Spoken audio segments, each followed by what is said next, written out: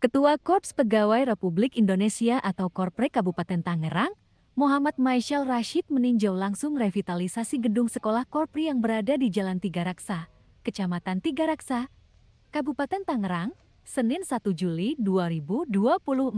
Maisyal Rashid mengatakan, dirinya beserta pengurus Korpre Kabupaten Tangerang lainnya senantiasa berupaya memberikan pendidikan kepada anak bangsa, termasuk anak bangsa yang berada di wilayah Kecamatan Tiga Raksa dan sekitarnya, untuk bisa mengenyam pendidikan di tingkat SMP hingga SMK.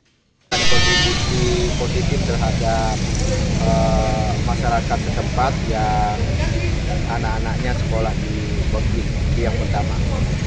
Yang kedua bahwa kita pengurus Kopi Kabupaten Tangerang sudah sepakat berupaya terus supaya anak-anak yang sekolah di sini tidak dibebani uh, apa pun kepada orang tuanya, termasuk kepada anaknya.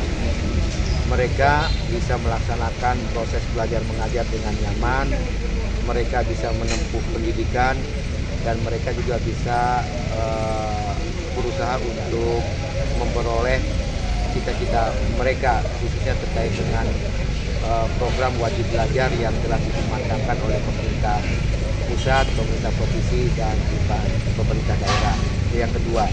Yang ketiga, tentunya uh, ini menjadi kebanggaan uh, bisa memberikan kontribusi berperan serta terhadap anak didik yang uh, pada saat penerimaan uh, sekolah murid baru ada yang tidak diterima di negeri, ada yang diterima, tidak diterima di swasta, tapi kita akan menampung khususnya nanti untuk sekolah menengah pertama untuk SMP. Kita tampung mereka di sini, insya Allah kita berusaha untuk tetap gratis. Ya. Ini sudah mau, oh ini sudah mau jadi, insya Allah dua minggu, tiga minggu lagi ini selesai dibangun dan siap digunakan untuk uh, pelaksanaan proses belajar mengajar uh, SMP Korpri ya